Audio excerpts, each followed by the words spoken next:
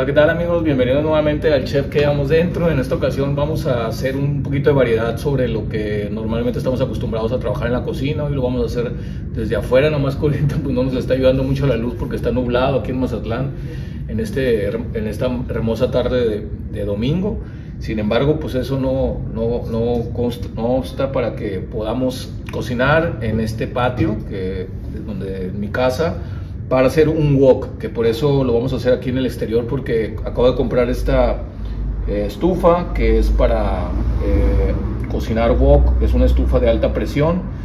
Y pues bueno, vamos a probarla aquí haciendo unas recetas que tenía muchas ganas de, hacerlas. Y pues bueno, este es el, el famoso wok. Que ya lo tenía y la estufa, vamos a probarla haciendo unas recetas que son eh, muy básicas en la cocina oriental. Vamos, ya ve que en las cocinas orientales se maneja mucho, sobre todo el fuego alto, eh, pero también mucho las verduras. Vamos a hacer una sopa pequín eh, de entrada para esta receta y es una sopa que consta de diferentes verduras. Aquí las tenemos, es brócoli, cebolla, zanahoria, lo morrón, que es chile morrón y champiñón poquito apio también, este apio, eh, sesgadito todo, la verdad la verdura es, es como a ustedes les guste, pero yo normalmente la corto de, esta, de este grosor, de este tamaño también el brócoli y de este grosor también el, para sentir también la, la, verdura cuando uno está comiendo.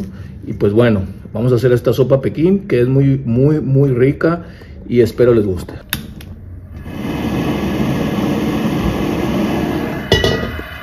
Como les decía, la ventaja de este tipo de estufas es que calienta inmediatamente. Y aquí vamos a meter agua natural.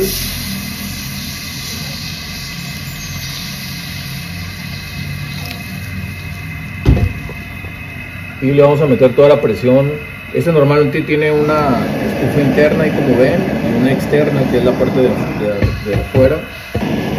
Ya prendió y le vamos a meter todo el fuego para que hierva rápido más o menos en, en, un minuto ya está hirviendo casi el agua, o sea, es, es increíble la, el tipo de, de, este tipo de estufas. Y vamos a agregarle sal. Y una especie muy oriental que es Ajinomoto. Ajinomoto es como una especie de Nor Suiza ahí en, en, ¿cómo se llama? En, en China.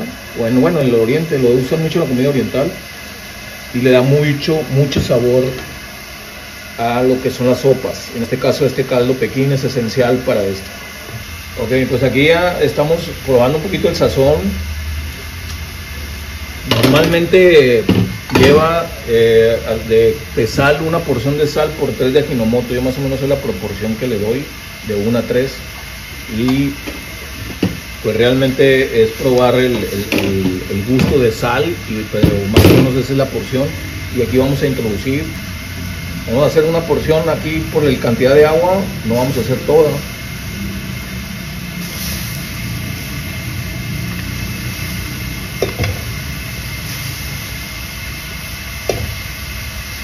Vamos a hacer en dos partes, pero más o menos esta es la cantidad, porque aparte vamos a ponerle pasta. Esta sopa para que quede mejor se le pone pasta. Y aquí le vamos a subir toda la, intensidad para que hierva rápido. Ok miren aquí más o menos unos 5 minutos ya estoy hirviendo bien y ya agarró el sabor de, la, de las verduras que es lo importante.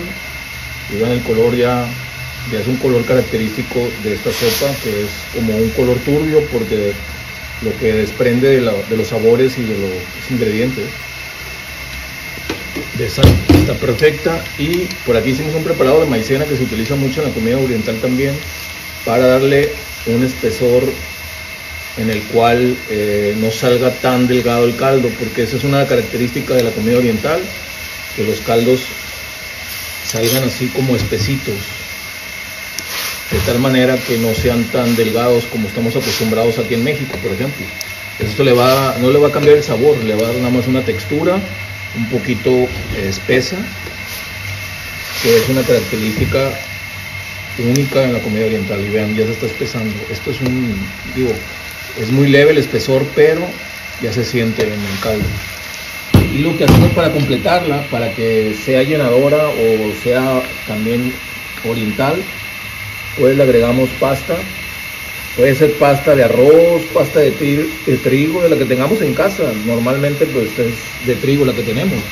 Si consiguen de arroz, pues es, es más, es mejor para este tipo de sopa. Pero si no, miren, esta le da muy buena, muy buena este, buen color y también pues es más llenadora y es como una entrada. Entonces ya está lista, la vamos a servir y.